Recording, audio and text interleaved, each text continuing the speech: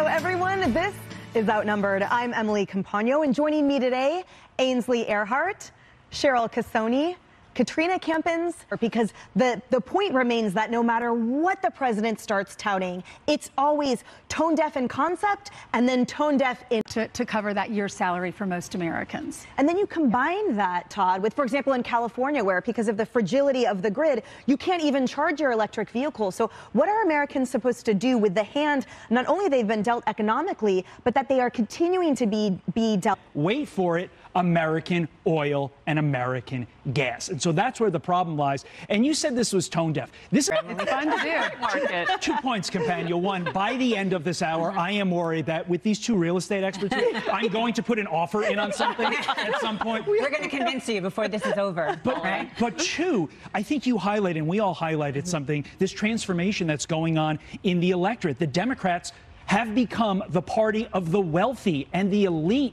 and Republicans are becoming the party of the working man.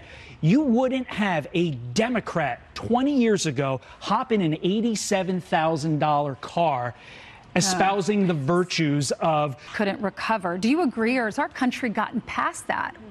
I think rise being unscathed. I mean, nobody thought about her. It was like, oh, Kamala's there. Oh, she's the next senator. She is this. There was never any lawyer we had in that soundbite was saying because of the location. I would go a step further. Under the email that that escort was acting aggressively, was the aggressor. So how in a defensive posture, there's they want everything to be given to them. And I am a huge proponent of the American dream and immigration because it's the reason I'm here, right? Mm-hmm. So I'm grateful to that. But I do believe that it goes. They've broken the law and now they want to not leave their luxury hotel anyway. Uh, the pain for the first meal. So Ainsley, apparently two out of three women offered a pay- on Fox News. and I just want to get close to her. Unfortunately, that's why I don't like animals more than I like people half the time. I do, I do love to match people up, so maybe I'll set you well, up on one. That's the best way to go on dates. The best. Yeah, because then they know about the guy. I've gotten right. people married. Yeah. One of my best friends married, and they have three girls How now. How did I not know this? Oh. Todd, you're off fleet. Right. I'm going to bring you out Mariano and Vera. I have to go. Look it up,